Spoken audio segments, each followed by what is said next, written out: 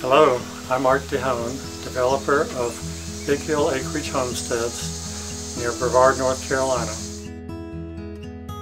In 1997, I decided that I would go ahead and develop the 600 acre tract of land.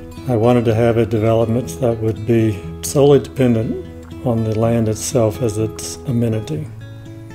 There would be no golf course, no country club, no swimming pools, no lakes. Be strictly the land and the streams.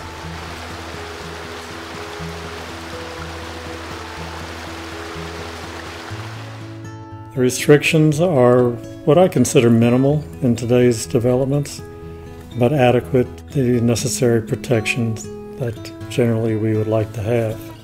People who come looking for property here at Big Hill Acreage Homesteads are generally people who are looking for just the music of the mountains. They like to hike. They like to. The fact that we are adjacent to an 8,000 acre conservation tract of land. There are miles of hiking trails within it. Quite a bit of the headwaters of the East Fork River originates on our tract of land. To say that I've enjoyed developing this land is an understatement. Part I've enjoyed the most is walking as much of it as I could even before the first road was built.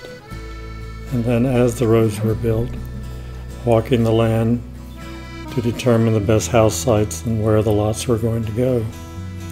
So I can truthfully say that every lot I've walked a portion of, if not a good deal of it, more than once.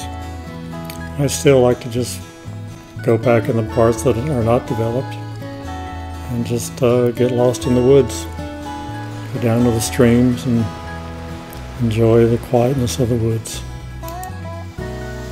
Thank you for considering Big Hill Acreage Homesteads for your mountain acreage. Contact your favorite broker and I look forward to meeting you in the near future.